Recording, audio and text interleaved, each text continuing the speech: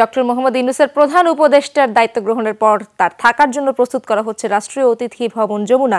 এই মুহূর্তে সেখানে রয়েছেন আমার সহকর্মী আহমেদ তৌকির। সরাসরি যাচ্ছি তার কাছে। তৌকির অতিথি ভবন যমুনায় কি ধরনের প্রস্তুতি আপনি দেখছেন? আমাদেরকে জানাবেন।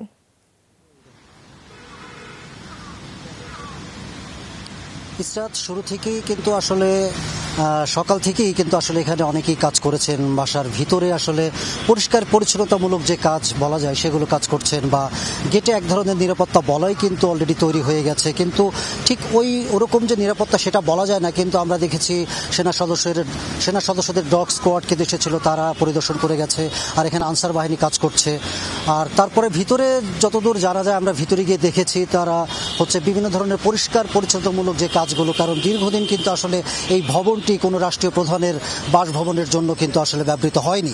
আমরা যতদূর জেনেছি, এটা আসলে তার বাসভবনের পাশাপাশি কিন্তু আসলে এটি তার অফিসিয়াল কার্যালয় হওয়ার কিন্তু একটা কথা কিন্তু শোনা যাচ্ছে। যদিও সেই খবর এখনও চূড়ান্ত নয়, কিংবা আসলে উনি কখন এই বাসভবনে আসবেন বা ঠিক কবে নাগাদ থেকে তার এখানে বসবাস শুরু হবে বা অফিসিয়াল কার্যক্রম শুরু হবে, সেটাও কিন্তু এখনও নিশ্চিত না। তবে বলা যায় কিন্তু শপথ গ্রহণের পরেই আসলে তিনি হয়তো আজকে অথবা এর পরে হয়তো যে কোনো সময় কিন্তু চলে আসতে পারেন।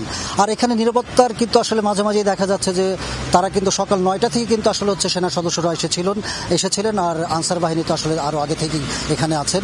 কিন্তু ওই অর্থে কিন্তু নিরাপত্তা বা ঠিক এর অন্য দিকগুলোতে যেরকম ডক্টর মোহাম্মদ ইউনুসকে ঘিরে যে উৎসাহ, উদ্দীপনা, ঠিক এই বাসভবনের সামনে কিন্তু ঠিক ততটা কিন্তু ওরকম উন্মোদনা বা ঠিক সেই অর্থে কিন্তু ওরকম ব্যস্ততা নেই, কারণ সেরকম কিন্তু থাকার কথাও না আসলে, কারণ যেহেতু এখন আসলে সব আয়োজন আসলে অন্যদিকে ঘিরে, আমাদের আসলে শেষ পর্যন্ত অপেক্ষা করতে হবে যখন শপথ গ্রহণের পরে বা উনি আসলে আজকেই এই বাসভবনে আসবেন কিনা, সেটাও কিন্তু আসলে এখন পর্যন্ত এইখানকার কেউ কিন্তু নিশ্চিত কিন্তু করতে জানাতে পারেনি। আসলে এই ছিল এখন আমার কাছে শেষ মুহূর্তের খবর, পরবর্তীতে আরও বিস্তারিত জানাব।